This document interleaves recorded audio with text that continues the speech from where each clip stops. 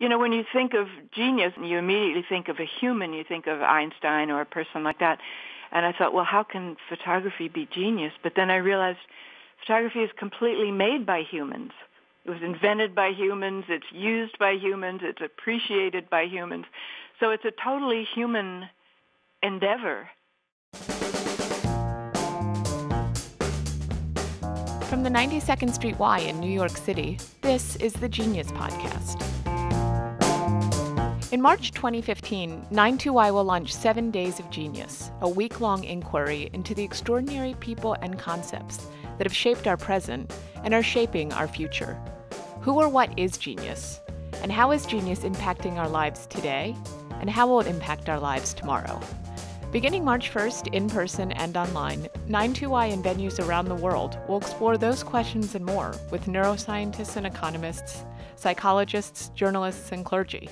Today, we ask the question, What is genius? to world traveling National Geographic photographer Jodi Cobb. I think genius is this combination of creativity and and extraordinary achievement at the same time.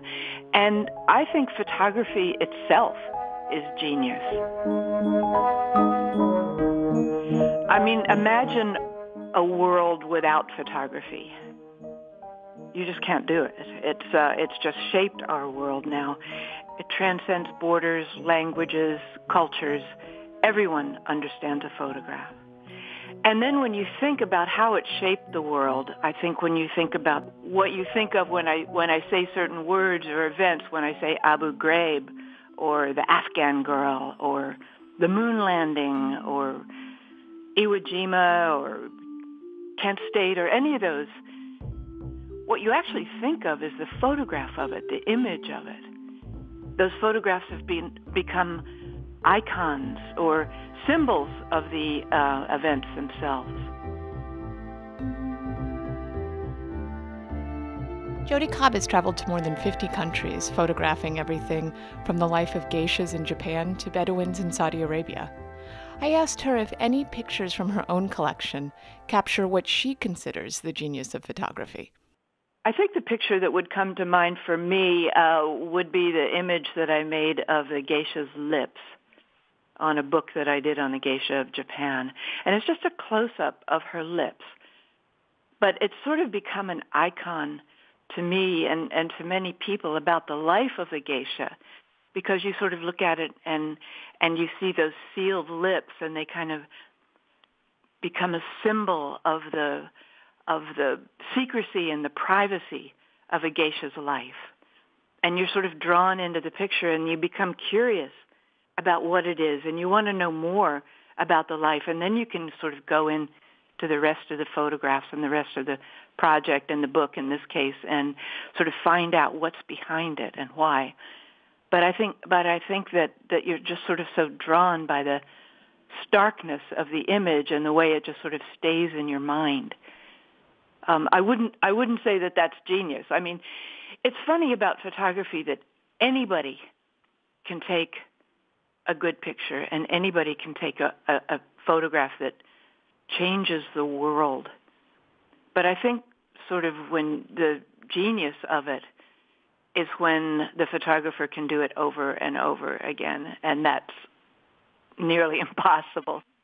And now, living in the era of Instagram and digital cameras on smartphones, how have those innovations changed how photographers work? Well, the digital revolution has changed everything so dramatically. I mean, photography was always difficult, um, but now it's democratic. I mean, everybody can do it. Um, but again, everybody can take one great picture, but can they do it over and over and over again? Um, and what to me is exciting about that about that digital revolution is that there's become such an awareness now of photography and such a love for it that it just creates more and more demand for better and better photographs.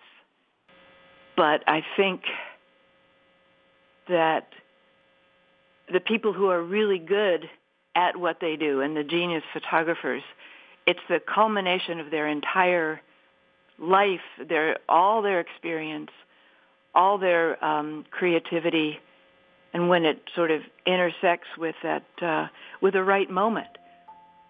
And that's and that moment is there because they've put themselves out there. They've gone where no one else is going, and and doing things that that no one else wants to do or can do or will do, and and and then it sort of all comes together and then makes that makes that indelible image that lasts forever and, and changes the world. Jodi Cobb is a National Geographic photographer who has published several books of her work, including Geisha, The Life, the Voices, the Art.